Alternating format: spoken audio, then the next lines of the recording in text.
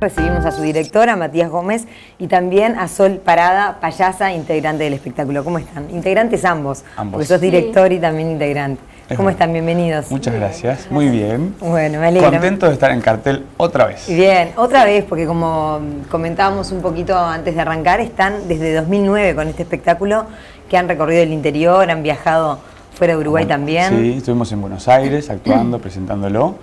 Un poco la tradición de, de la compañía que es Crisis es presentar siempre Salto al Vacío en, en- en teatros medio under, medio fuera del circuito comercial, del circuito céntrico. Y este año llegamos al Teatro Galpón, teatro sobre el 18 de julio, o sea que estamos muy contentos. Claro, todos los miércoles de mayo, 21 horas en el Teatro Galpón. Sí, sí, Ahí en la está. sala Atahualpa ahí, que es una sala muy linda, muy cálida, muy acogedora, este, trifrontal, así que tenemos público casi, casi, Casi en todos 180 lados, grados y es muy bueno tenernos ahí. Sí, estamos muy cerca de la gente y eso está bueno para el espectáculo que es muy interactivo. Claro, claro, me imagino fundamental. Contémosle un poco a la gente justamente de qué se trata, de en qué se basa el clown como, como género y también eh, la improvisación, que son las- los dos ejes de salto al vacío, ¿no? Voy yo. Sí. El clown, eh, bueno, es un género teatral, entonces este, un poco está como la tradición de payaso de circo, que un poco el objetivo del payaso de circo era salir a hacer reír, ¿no? Era el que ponían entre medio de los grandes números de equilibrismo y de los leones y tenía que salir a entretener al público mientras se armaban cosas atrás y tenía que hacerlos reír para que la gente no se parara y se fuera del circo. O sea, como la tradición más vieja. Después empieza a teatralizarse un poco más. Y entonces el género que nosotros, o la, o la filosofía de clown que nosotros manejamos, es más poética si se quiere. No salimos a hacer reír, no tenemos esa obligación. Si la gente se ríe es genial, pero no es nuestro objetivo. Entonces estamos inocentes en escena, tratando de ser lo más auténticos y espontáneos con la situación que sucede, improvisamos. Y bueno, eh, hay humor, pero no es el objetivo principal. Entonces tratamos de divertirnos y divertir al público, pero no siempre eh, con esa el clac de carcajada, ¿no? Claro, claro, no esa obligación. Exacto. Y se conjuga con la improvisación muy fuerte. En este espectáculo nosotros lo, lo- lo conjugamos con impro. Uno puede hacer clown solo o puedes hacer clown impro. Como el, forma- el formato de salto al vacío, vamos a explicarlo para que lo conozcan, son dos equipos con un árbitro, dos equipos de payasos, un árbitro que va dirigiendo y marcamos juegos y consignas y tenemos una banda en vivo. Entonces todos improvisamos. Hay una estructura lineal que seguimos de juegos. Entonces la gente aporta títulos, improvisamos en base al título. Vos, por ejemplo, te digo, decime un título.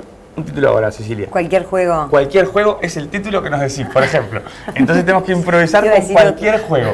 Entonces Ahí generamos material. Ah. Estamos improvisando nosotros los payasos, competimos un equipo contra otro, hay un árbitro que está vigilando que no nos equivoquemos y además están improvisando los músicos atrás para ambientar sonoramente y también en cabina los iluminadores. O sea que todos tienen que también ir por la improvisación. La gente te tira un título, lo que fuere, pero no sube a ser parte o sí. Mm. Ahí, Más o menos. en un momento... Depende. Hay una parte que sí, Que sí. pero tampoco queremos asustarlo Claro, porque a porque la gente veces se te sienta al fondo claro, no. es un momento de exposición y algunos que Quere- Queremos dejar en claro que si pasan van a estar cómodos con nosotros. Claro. Pero por lo general no, somos nosotros improvisando en escena y la gente tira un, un título sentado en la butaca. No, ¿Y está pensado para niños o no, no específicamente? Y... No específicamente, es un espectáculo que recomendamos para personas a partir de 12 años. Hay muchos niños que van de 60 a 65 años que Bien, se divierten como nosotros. Sí, sí, es lo más lindo. Qué bien. ¿Y, por- y salto al vacío tiene que ver con esto, con esto de improvisar, de volcarse de lleno a lo que se dé? ¿Por Sí, qué el es, título? el salto al vacío es porque en el momento en que vos es- estás en escena, este, no sabes qué, qué te va a decir la gente. Entonces es, el- estás en el vacío total. El, el título o el tema que te llega te llega como un regalo y vos a partir de eso le devolvés una cosa. Entonces saltar al vacío es saltar a que a lo que venga. Y entre ustedes eso de seguir, porque ella tira algo, vos tenés que seguirla a ella y otro a ti, Sí. Es un ejercicio, Hay mucho digamos. entrenamiento, entrenamos Mucho muchísimo. Sí. Sí. Esto, nosotros más Porque a veces hay gente que denosta, viste, un poco, bueno, se suben y hacen cualquier cosa, Claro. cuando en realidad también debe haber un trabajo atrás para ver cómo seguirse. ¿no? Sí, a, a veces hasta, hasta hay gente que sale de- del teatro y no nos cree que está improvisado, porque de repente se dieron dos chispas, de, de- viste, de- te iluminaste y le seguiste la línea y quedó algo tan hermético, tan perfecto, que la gente dice, esta no es improvisado, sospecha un poco, pero créannos, es improvisado.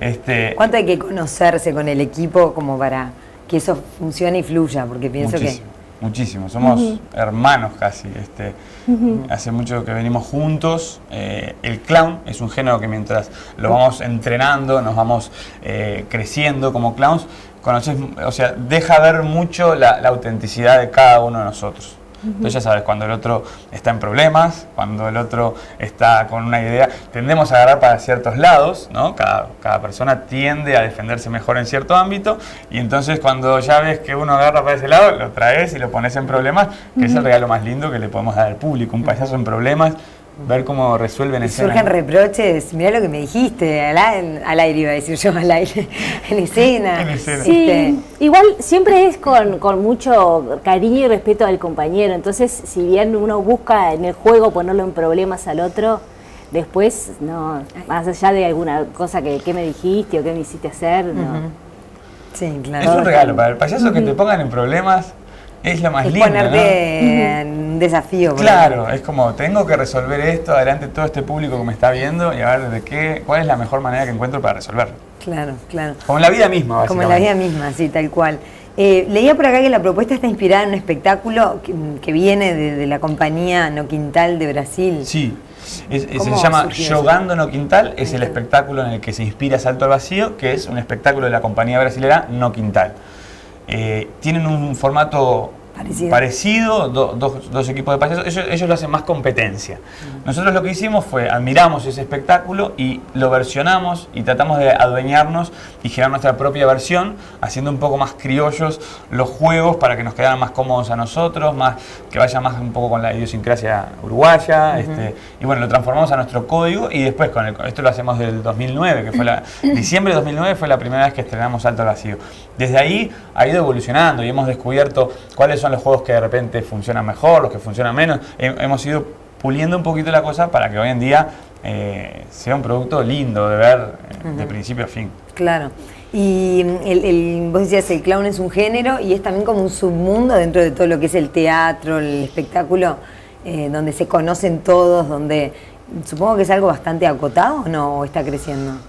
Sí, Contalo, con, vos que sabes, dale. Eh, eh, creo que empezó como un grupo pequeño de gente que hacía clown específicamente, porque si bien en la EMAD hay una materia que, es clown, eh, como que hay mucha gente que está tomando talleres específicos de clown. Y, los hay acá en Uruguay. Y los hay acá en Uruguay, hay mucha gente que está dando, que dando, está dando talleres ahora, y, pero igual, si bien creció mucho la gente que está tomando clown, eh, por lo general más o menos nos conocemos todos, este, nos movemos más o menos por los mismos lugares, incluso nos apoyamos entre nosotros.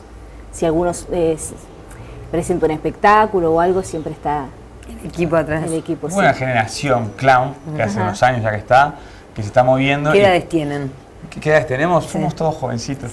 No, yo que sé, que fluctúa entre los 20, 20 y pocos hasta los 30, 30 y pocos. Este, entonces la idea es que surge como algo bastante amateur y creo que las distintas agrupaciones de clowns que hay hoy en día, que por suerte somos bastantes, vamos tratando cada vez más de profesionalizar un poco y hacer productos más este, prolijos, más, más, lindos, para llevarlos a teatros cada vez mejores en Uruguay. Me comentaban hoy eh, que además están en contacto con payasos medicinales, los que trabajan en clínicas. Sí. Este año tenemos la suerte de, bueno, son, es una agrupación amiga, eh, admiramos el trabajo que hace. Que, se, que se, presentan, contemos por si alguien no sabe del otro lado, se presentan dentro del propio hospital, eh, bueno, amenizándole el día. Sí, hacen un trabajo que, que, es súper necesario, súper importante y muy lindo, que es que, bueno, van llevando alegría y generando una sonrisa en la gente que más lo necesita, en la gente que está hospitalizada, en este caso ellos, los payasos medicinales, trabajan en el hospital de clínicas, y bueno, como son una agrupación amiga, este, y tratamos de que el género clown ayude al género clown. Ellos están en la previa, en el hall, cuando la gente va llegando al teatro, están ahí recibiéndolos y clowneando un poco con ellos. Ajá. ¿Y la gente cómo recibe eso? Porque muchas veces somos tímidos los uruguayos. es como que jijiji, pero que se lo hagan al otro, ¿no? Bueno, es como que sacan a la gente de, la zona de comodidad, parecería. Es un poco la idea. ¿eh? Tenés que ir a ver un espectáculo y que en algún punto te toquen, que te muevan. Entonces lo usamos como calentamiento, ellos ya van entrando en calor con la gente, la gente va entrando en calor con ellos, este, y después cuando llegan adentro de la sala son nuestros. ¿Por cuánto tiempo más o menos? ¿Cuánto dura? El espectáculo eh, es variable, porque como improvisamos, de repente hay juegos donde un equipo se equivoca rápido en el juego y ya terminó y seguimos al siguiente juego. Y de repente es un juego que sucede bárbaro, entonces es más largo. Ha durado, bueno, la, medida media es una hora y media y un día duró cuatro días y, poco la función. no, eh, de una hora y media a una hora cincuenta es lo Bien. ¿Y, ¿Y han notado mucha diferencia en las presentaciones en Montevideo Interior, por ejemplo, o afuera? Eh, diferencia, no sé. Puede ser en los títulos o, la, o, capaz que la participación. Que claro, la participación a veces mm. en interior es como que primero te calculan y ven. porque además el, género en Uruguay es relativamente novedoso, o más que novedoso, no hay demasiado. Entonces ya en Uruguay en general, y cuando vamos al interior nos ha pasado de que como que les lleva un ratito entender de dónde viene. Claro, te mide, pero después cuando se sueltan ah, y empiezan a largar unos títulos que es maravilloso. es muy divertido. Qué bien. Bueno, repetimos miércoles de mayo entonces solamente. Solo los miércoles de mayo, ya vamos de funciones. Ayer, tuvimos, ayer miércoles tuvimos la, suerte y, la gratitud de haberse llenado sala, quedó gente afuera, así que recomendamos que llamen al Teatro Galpón para reservar. Este, y nos quedan dos funciones entradas más. son ahí solamente? Sí, son ahí. Hay dos por uno con socio espectacular y demás convenios, pero pueden llamar al teatro y reservar. Les recomendamos reservar. Este, la sala tiene 170 butacas, es, chiquita, es para que sea así bien cálido. Este, así que bueno, quedan dos funciones, los miércoles que quedan de mayo, miércoles 20 y 27 de mayo. Así que los esperamos. Los esperamos para saltar. ¿Y hay planes para otra vez salir o en fin el resto del año moverlo? La, compañía está muy sólida y con muchas ganas de, de llevar el espectáculo y mostrarlo. Es un formato que se puede acomodar a muchos lugares, que es muy versátil eh, y sí, tenemos ahí algunas cosas que todavía no están confirmadas, ni podemos comentar mucho, pero bueno, sí hay planes. En carpeta, bien. Matías Gómez y Sol Pará, muchas gracias a los dos gracias por haber venido hasta acá.